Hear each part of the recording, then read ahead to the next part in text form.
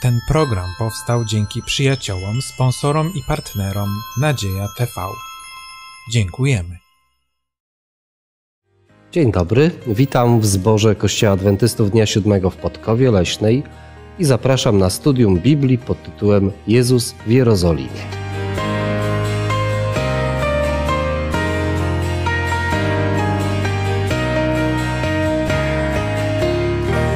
Dzisiaj podczas w naszej dyskusji uczestniczyć będą Kasia, Klaudia, Grzegorz. Ja mam na imię Remigiusz i zapraszam jeszcze raz na wspólne studiowanie 19 i 20 rozdziału Ewangelii Łukasza, podczas którego będziemy podążać za Jezusem, który spędzał ostatnie swoje dni w Jerozolimie. Ale by móc być zainspirowanymi w takiej podróży, zaczniemy dzisiejsze studium, dzisiejszą dyskusję modlitwą. Panie Boże, dziękujemy Ci za ten czas studium, dziękujemy Ci za Twoje słowo i za to, że znamy historię Twojego Syna, który przyszedł tutaj na ziemię, aby umrzeć za nas.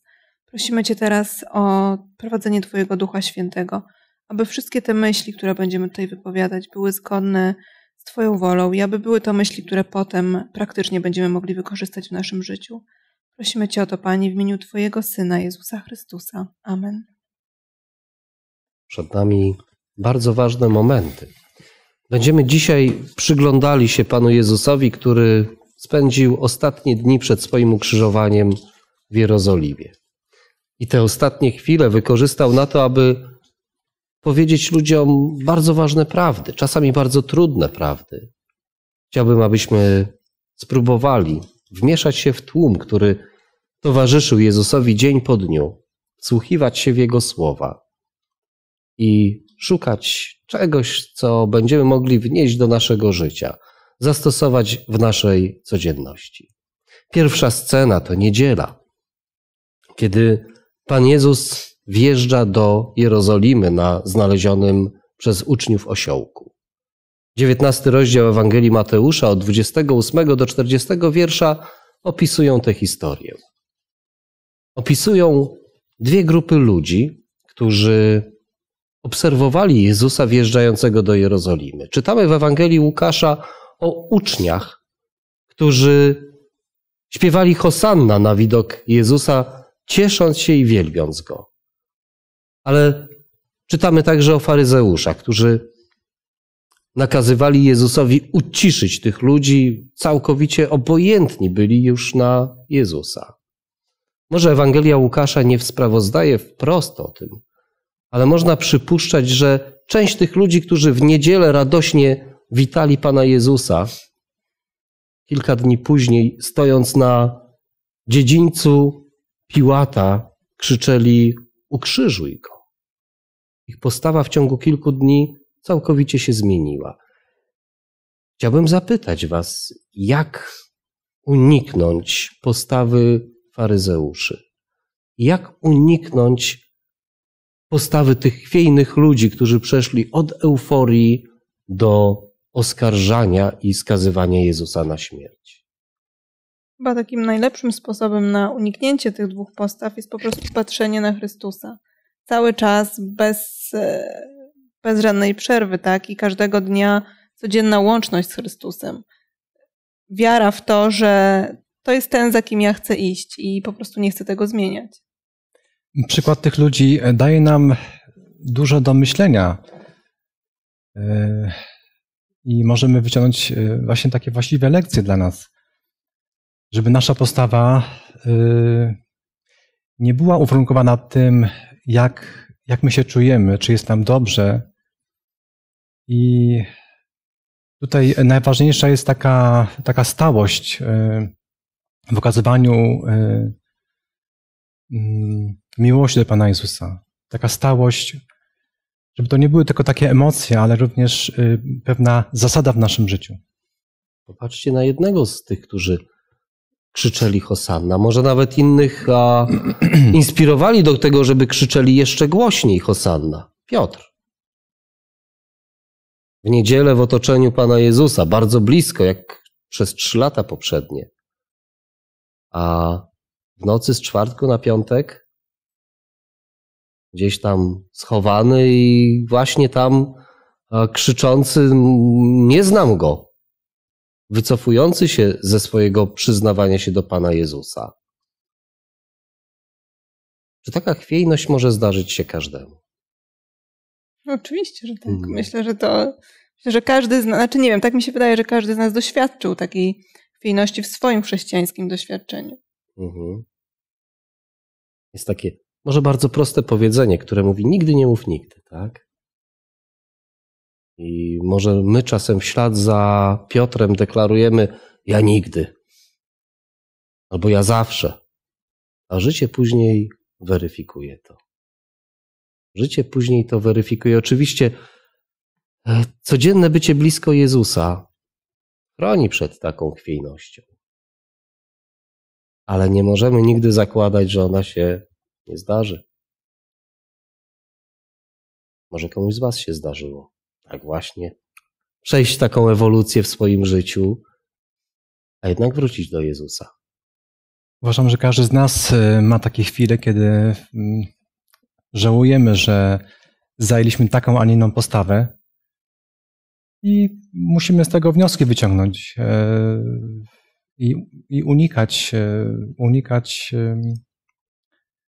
takich właśnie postaw, które by nas właśnie dołowały. Mhm. No zobaczcie, że Pan Bóg jest miłością ale nie tylko na swoich emocjach możemy opierać się, tak? A z drugiej strony powiedział, że prawda was wyswobodzi. Tak naprawdę wielu z tych osób po prostu miało złe zrozumienie tego, po co Chrystus przyszedł, jak to ma wyglądać. I dlatego za kilka dni, rozczarowani sytuacją, krzyczą zupełnie co innego. Uniesieni emocjami, prawda? Uniesieni mhm. emocjami. Uniesieni emocjami raz jednymi, raz drugimi. A Wiara jest doświadczeniem emocjonalnym, ale nie może być jedynie emocjonalnym. A gdybyśmy znowu popatrzyli na tę chwiejność, jak sądzicie, w którym momencie zaczyna się duchowa chwiejność? Od czego się zaczyna duchowa chwiejność? Tu mam taki e, przykład e, Piotra również, mhm. kiedy e, zobaczył Pana Jezusa chodzącego po morzu. Mhm. I w tej chwili wydawało mu się, że on sobie poradzi z tym. I on się czuł mocny. Dopiero gdy zaczął mu się usuwać grunt pod nogami, bo to była woda, wtedy, wtedy zrozumiał, że jest właśnie grzesznikiem. Ale chodzi o to, że y, nie, nie, nie miał swojego wzroku na Pana Jezusa skierowanego. Czyli jednym słowem od wątpliwości, gdzieś tam zasianych. Mhm. Tak było w przypadku Ewy, kiedy mhm. zgrzeszyła. Wystarczyło zasiać pewną wątpliwość. Patrząc na różnego rodzaju chwiejności duchowe, wydaje mi się, że początkiem tej chwiejności i braku stałości jest zaniedbanie modlitwy. Tej własnej, osobistej. To jest jakby podcięcie pewnego fundamentu. Jeszcze się stoi, tak. ale już zaczyna się być troszeczkę chwiejnym. Idąc dalej za Jezusem, wchodzimy za nim do świątyni. Chciałbym kogoś z Was poprosić o przeczytanie 19 rozdziału Ewangelii Łukasza od 45 do 48 wiersza. A wszedłszy do świątyni, zaczął wypędzać sprzedawców, mówiąc do nich: Napisano, i będzie mój dom domem modlitwy, wy zaś uczyniliście z niego jaskinię zbójców. I nauczał codziennie w świątyni. Arcykapłani zaś i uczeni w piśmie, a także przedniejsi z ludu szukali sposobności, by go zgładzić, lecz nie znajdowali nic, co by mogli uczynić. Cały lud bowiem, słuchając go, garnął się do niego. Dziękuję bardzo. Drodzy, nie kłóci wam się ta scena z obrazem Jezusa w innych miejscach Ewangelii? Jezusa przebaczającego, Jezusa tulącego dzieci, Jezusa pomagającego, litującego się, przebaczającego grzechy? No wyobraźcie sobie scenę, czasami odzwierciedlaną w filmach. Jezusa, który biega po świątyni, kopie, przewraca różnego rodzaju sprzęty, bije biczem. Nie kłóci wam się to? Dla mnie ten obraz Pana Jezusa jest e, taki szczególny, bo wiemy, że Pan Jezus jest barankiem Bożym, ale również jest e, lwem z pokolenia Judy. I tutaj akurat w tej sytuacji y, przyjął postawę lwa, czyli bronił, e, bronił e, zasad, e, które, które trzeba przestrzegać. I dla mnie taki jest przykład też do mojego życia, gdy widzę kogoś, kto, kto może łamie takie zasady, ewidentnie wprost, Mhm. to moja reakcja po- powinna być podobna jak reakcja Pana Jezusa. Złapać za bicz? No tak może taki bicz faty... No właśnie. To przy okazji, kiedy, kiedy rozmawiamy o takich zachowaniach, zobaczcie, żyjemy w otoczeniu, w którym profanowane są świętości.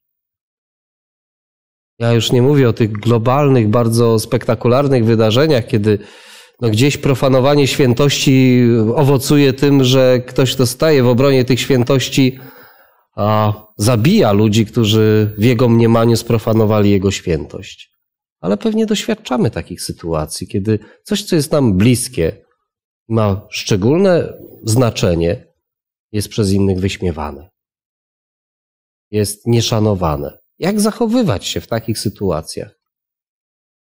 No, na pewno nie powinniśmy dopuszczać do, jeśli w naszej obecności ktoś profanuje świętość, tak, no też musimy się zastanowić, co my rozumiemy pod pojęciem świętość, tak, co jest dla mnie taką świętością, na przykład święty czas, Mhm. tak, ten dzień sobotni, który Bóg wyznaczył, czy święta księga, tak, ja zawsze jakoś tak e, jak mam w ręce Biblię, nie, nie, nie wiem, nie zawsze byłam tak nauczona, żeby nie, nie rzucać, nie.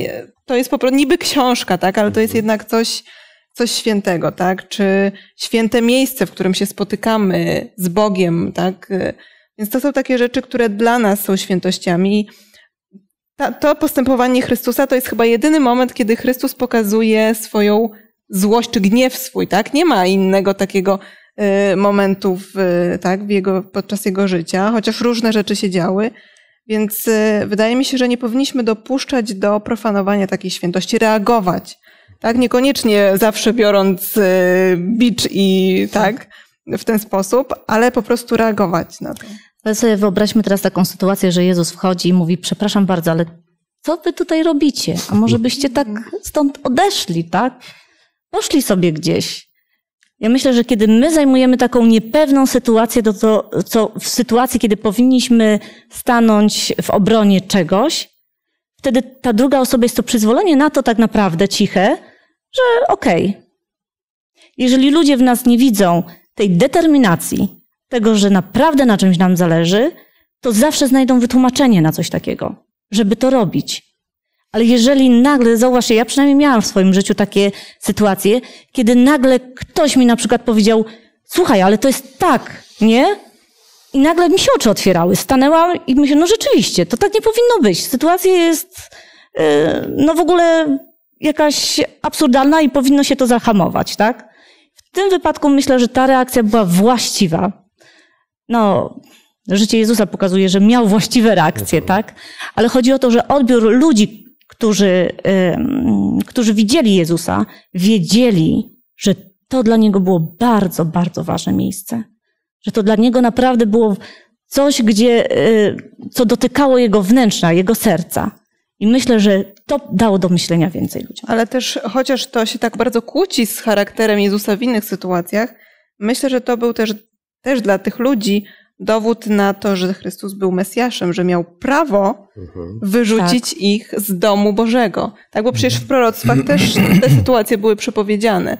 Więc on był tym, który mógł to zrobić, który rzeczywiście miał moc i miał prawo, żeby tak z nimi postąpić. Myślę, że tutaj metoda postępowania też powinna być dostosowana do ludzi. Tu w świątyni byli ludzie, którzy a, wiedzieli, w jakim miejscu są, byli ludźmi świadomymi tego, czerpali z tego zyski.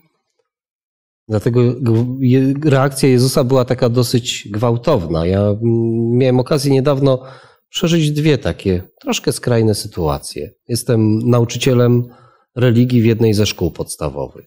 Nie wiem czemu, ponieważ akurat to nie był mój uczeń, ale jakiś pięcio-sześcioklasista, ale tak chyba się trochę uwziął na mnie.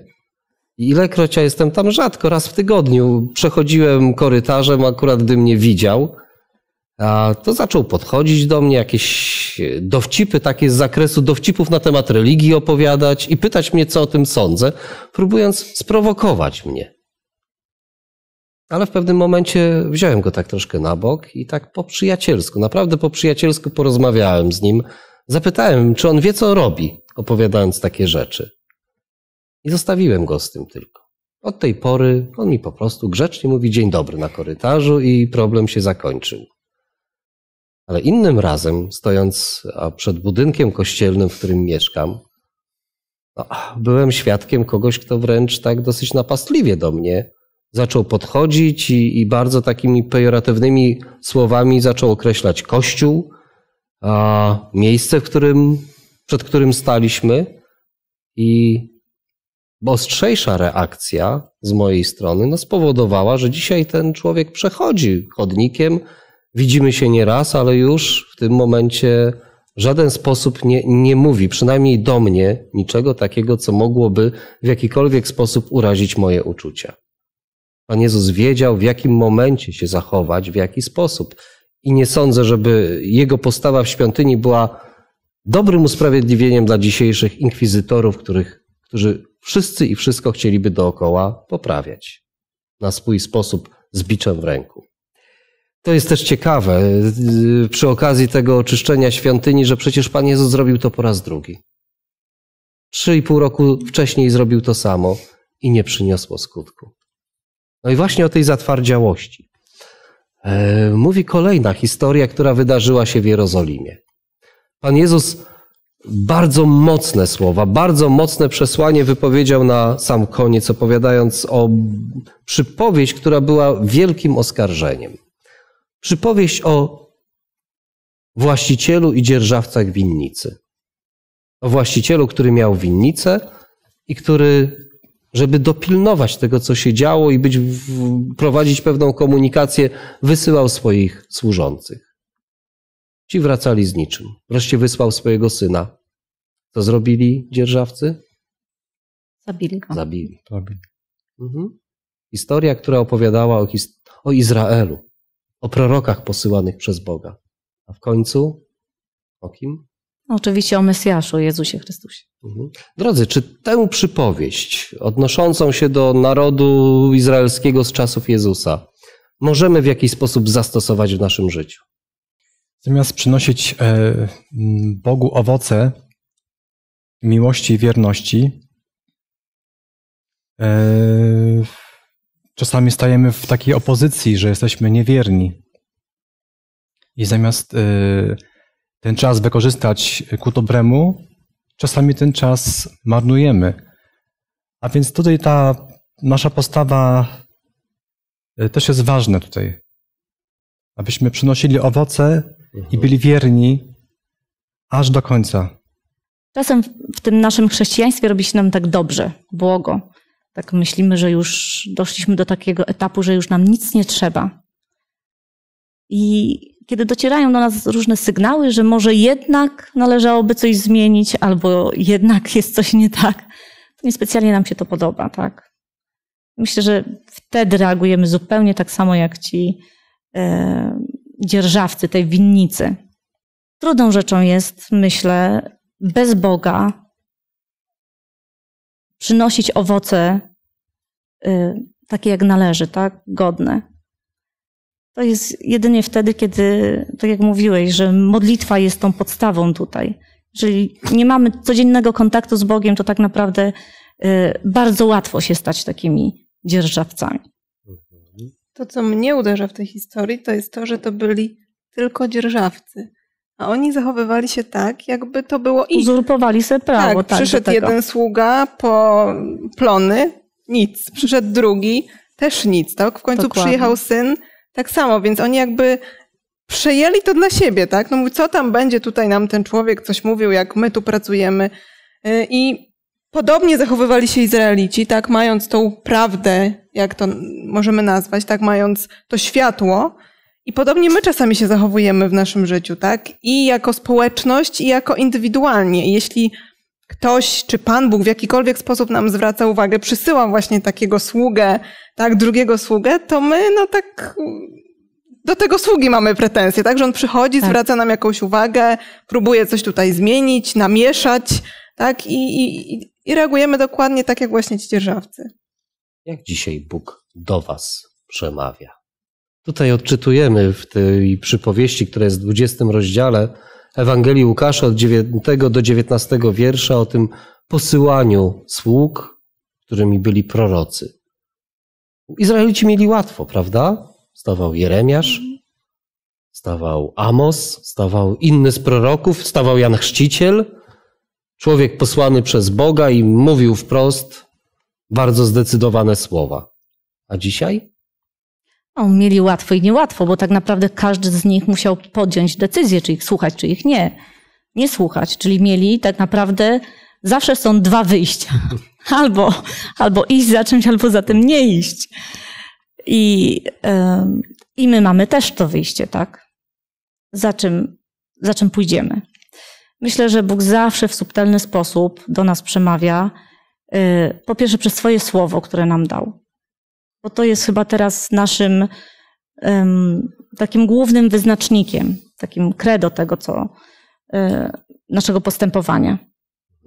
Czy jeszcze w jakiś sposób? Na pewno. I to od nas zależy. Po pierwsze, czy otworzymy Biblię, czy nie. A po drugie, co zrobimy z tym, co przeczytamy, gdy już ją otworzymy. Czy jeszcze w jakiś sposób Bóg dzisiaj może przemówić, posyła jakichś swoich służących do tych dzierżawców winicy, którymi jesteśmy. No, myślę, że przez ludzi też, których Mhm. posyła, tak? Często w naszym życiu spotykamy pewne osoby, z którymi rozmawiamy na różne tematy, tak? I, i też przez ludzi Pan Bóg może do nas przemawiać. Tak, myślę, że ważna jest taka otwartość umysłu.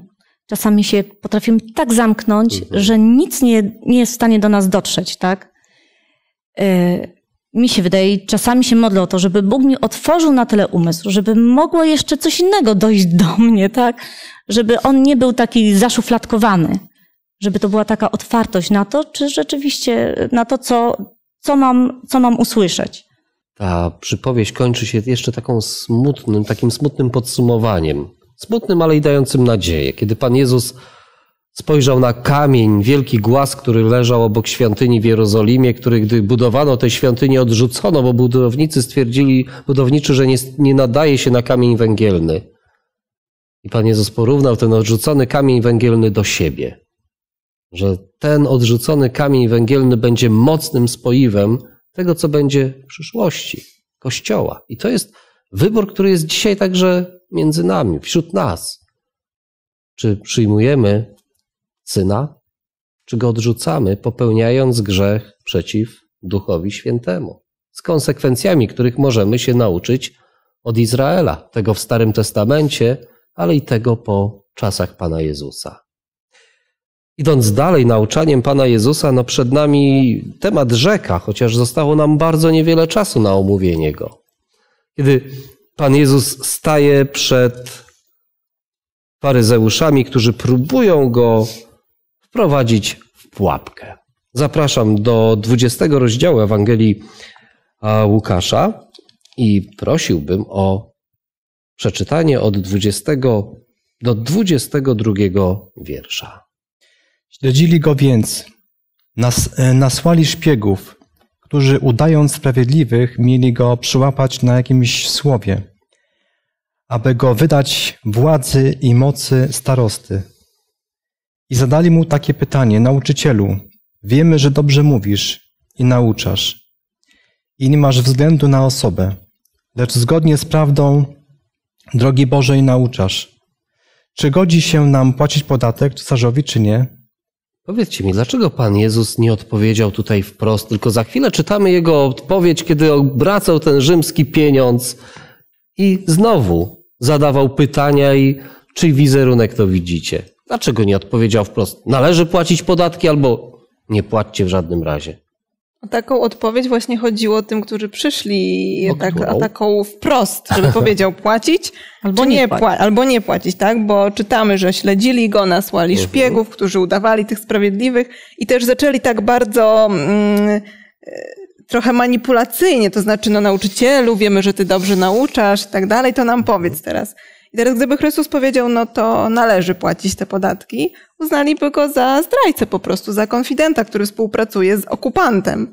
Natomiast gdyby powiedział, no nie płaćcie, tak, bo to jest okupant, nie musicie mu płacić, to wtedy od razu zapewne pobiegliby do jakiegoś tam namiestnika, że tutaj jest buntownik, który namawia do buntu przeciwko Rzymowi. Mhm. Byliście kiedyś w sytuacji takiej, takiego łapania za słówka, gdzie było wrażenie, że cokolwiek nie powiecie, to będzie złą odpowiedzią? Popatrzcie, jaka mądrość Jezusa, tak patrząc na jego odpowiedzi. Znowu pytanie, które zadaje, które daje do myślenia i zamyka usta ludziom. Ale nie zamykało to pytanie, czy nie zamyka jeszcze dzisiaj ust ludziom, którzy chcieliby dyskutować o temacie morza. Może o stosunku chrześcijanina do władzy. Czy możecie przypomnieć jakieś słowa Biblii, które mówią o tym, w jaki sposób chrześcijanin powinien traktować władze świeckie? Hmm, to może ja mhm. podpowiem. Mhm. Tak? Bardzo znany, znana wypowiedź apostoła Pawła, która chyba niemal wprost nawiązuje do tego, co powiedział Pan Jezus. List do Rzymian, trzynasty rozdział i od pierwszego do siódmego wiersza. Każdy człowiek nie się poddaje władzom zwierzchnim, bo nie ma władzy jak tylko od Boga, a te, które są przez Boga są ustanowione. Kto, kto się przeciwstawia władzy, przeciwstawia się Bożemu postanowieniu, a ci, którzy się przeciwstawiają, sami na siebie potępienie ściągają. Rządzący bowiem nie są postrachem dla tych, którzy pełnią dobre uczynki, lecz dla tych, którzy pełnią złe. Chcesz się nie bać władzy, czyń dobrze, a będziesz miał od niej pochwałę. Jest ona bowiem na służbie u Boga, tobie ku dobremu. Ale jeśli czynisz źle, Bój się, bo nie na próżno nosi, y, miecz nosi. Wszak jest sługą Boga, który odpłaca w gniewie temu, co czyni źle. Przeto trzeba się jej poddawać nie tylko z obawy przed gniewem, lecz także ze względu na sumienie. Dlatego też i podatki płacicie, gdyż są sługami Bożymi po to, aby tego właśnie strzegli. Oddawajcie każdemu to, co mu się należy, komu podatek, podatek, komu cło, cło, komu bojaźń, bojaźń, komu cześć, cześć. Dziękuję. Jaki wniosek z tego? A przesłania z tych słów apostoła Pawła możemy wyciągnąć dla naszego miejsca i naszej relacji z władzą?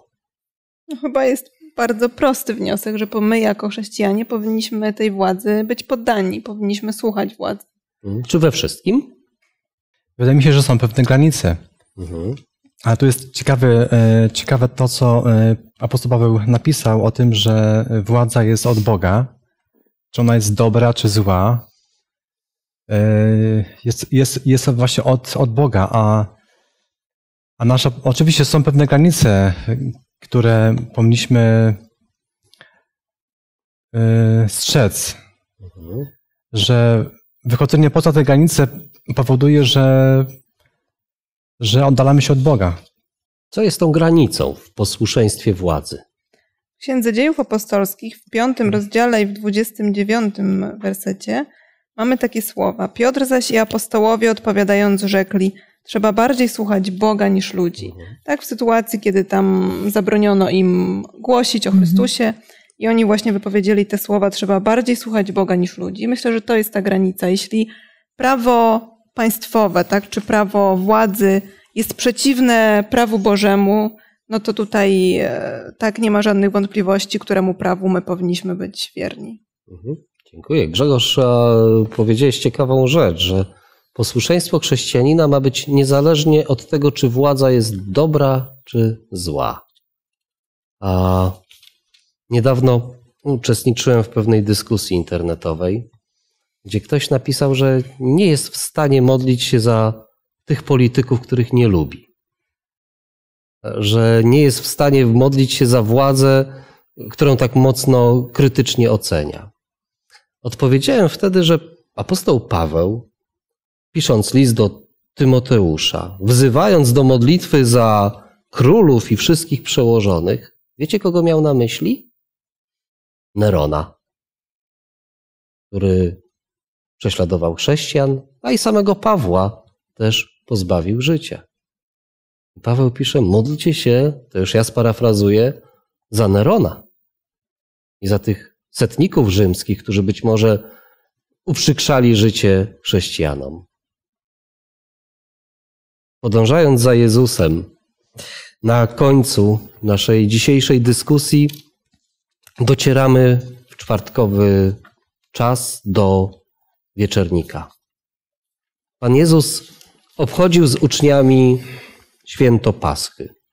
Ewangelia Łukasza, 23 rozdział, od 14 do 23 wiersza opisuje tamto ostatnie spotkanie, w którym Pan Jezus, obchodząc święto Paschy, mając na stole symbole paschalne, czyli chleb, który przypominał to pospieszne wyjście z Egiptu, wino, które przypominało i plagi egipskie, i tę krew na odrzwiach w domach w Egipcie, która to krew chroniła przed śmiercią pierworodnych, dał nowe znaczenie chlebowi i winu. Powiedział, że chleb to odtąd będzie symbol mojego ciała. Wino będzie symbolem mojej krwi. Może tak szczegółowo patrząc, zapytam Was, a dlaczego Pan Jezus nie podniósł wtedy fragmentu baranka, który był spożywany i nie powiedział, a baranek to będzie i dał nowe znaczenie. Cała służba świątynna i również ten baranek wskazywały na Mesjasza i na to, że to wszystko ma się wypełnić właśnie w śmierci Chrystusa. Więc w momencie, kiedy Chrystus miał umrzeć i wiedział już, że to się stanie zaraz, e, jakby stworzył, czy nadał nowe znaczenie tak tym pozostałym symbolom. Stworzył nowy e, obrzęd, możemy tak powiedzieć, który był kontynuacją tak, tego, co było do tej pory. Dla mnie pańska wieczerza jest również takim. Oczywiście symbole są bardzo wymowne tutaj, e, ale również e, w samym akcie wieczerzy pańskiej jest również. E, to ma też taki, taki, taki charakter, że jeżeli ktoś jest z kimś zwaśniony, to również jest czas na to, żeby sobie przebaczyć sytuacje, które nie były właściwe i, i to też jest również y, czas na to, żeby również przebaczyć, umyć sobie nogi. To jest taka chwila właśnie, kiedy możemy to uczynić. No tak, płynnie przeszliśmy od tego symbolicznego, mesjanistycznego znaczenia ostatniej wieczerzy i wieczerzy pańskiej. Tak Jezus był tym barankiem paschalnym i nie musiał podnosić fragmentu baranka do osobistego znaczenia wieczerzy. Więc może jeszcze kończąc, powiedzcie też o tym, czym jest wieczerza pańska dla Was, dla Waszej duchowości, dla Waszej wiary. Dla mnie wieczerza pańska to jest zawsze taki moment, kiedy ja staram się wyobrazić sobie to, co działo się w tamtym czasie, tak? To, to co działo się na krzyżu. I zawsze staram się sobie myśleć o tym, e, że Chrystus umarł za moje grzechy.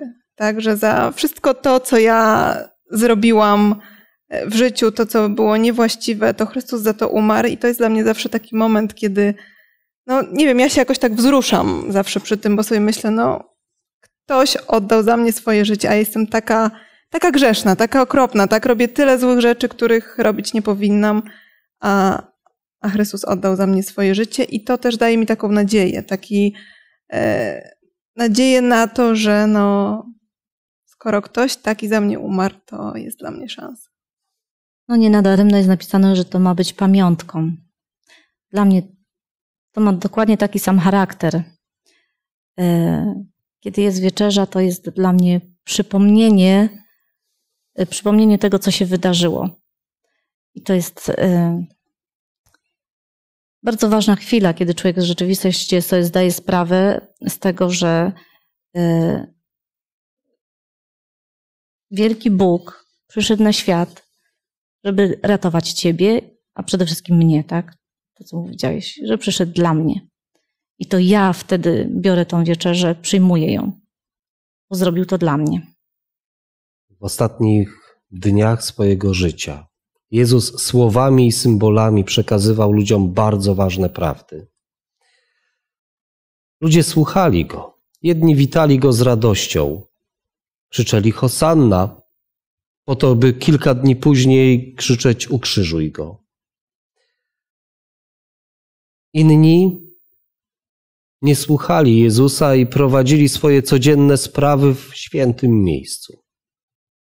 Jeszcze inni z obojętnością słuchali słów, które Pan Jezus jako syn właściciela winnicy wypowiadał do nich, a wręcz odrzucili go.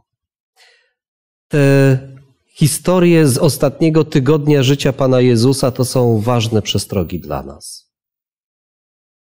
Apostoł Paweł dał lekarstwo. Napisał, patrząc na Jezusa, sprawcę i dokończyciela wiary. I to jest chyba pewna droga dla nas, abyśmy patrzyli na Jezusa w modlitwie, w czytaniu Pisma Świętego, w słuchaniu słowa, które jest głoszone, przeżywaniu i uczestniczeniu w wieczerzy pańskiej, w szanowaniu świętości wyznaczonych przez Boga, aby każdego dnia móc z radością, bez żadnego zachwiania, krzyczeć Hosanna synowi Dawidowemu. Dziękuję za uczestnictwo w dzisiejszym studium. Chciałbym, abyśmy podziękowali Bogu za to, że mogliśmy się znaleźć w Jerozolimie dwa tysiące lat temu i wsłuchać w tak ważne słowa Pana Jezusa. Panie Boże, łaskawie dziękuję Ci za to owocne studium, za to, że pokazałeś nam, gdy żyłeś na tej ziemi, dałeś nam przykład i natknąłeś nas nadzieją, że możemy dalej kontynuować to dzieło, które wykonałeś, będąc na tej ziemi.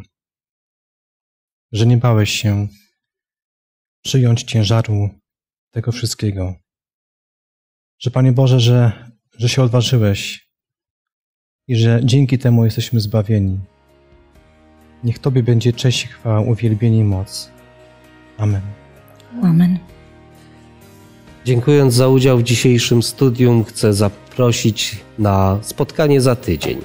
Na ostatnie studium z Ewangelii Łukasza pod tytułem Ukrzyżowany i Zmartwychwstały.